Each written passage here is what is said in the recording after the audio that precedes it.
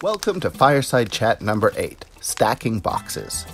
Hello, friends. In our last chat, we took our list of 10 things we're curious about and we organized them into different boxes.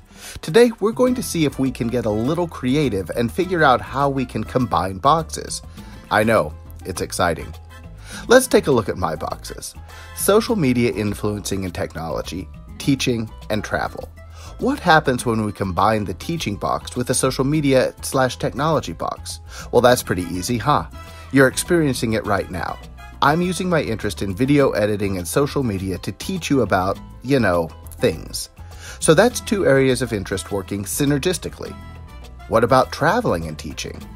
That's something that I find super interesting. How could I combine my love of travel and my, let's say, need to teach? There's a whole world of possibilities out there. What if I started an educational travel company where I take students on trips where they, you know, learn stuff? How would that work? Is that even possible?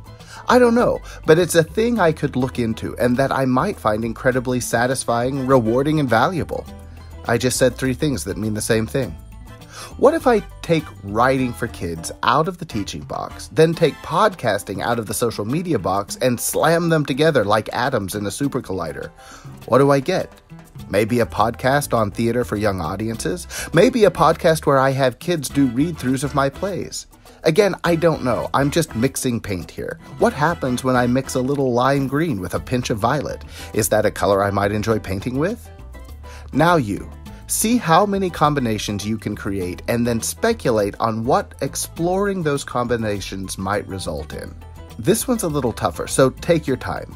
Come up with no fewer than three big ideas like the ones I came up with starting an educational travel company, doing a podcast on theater for young audiences, etc. One, two, three, go.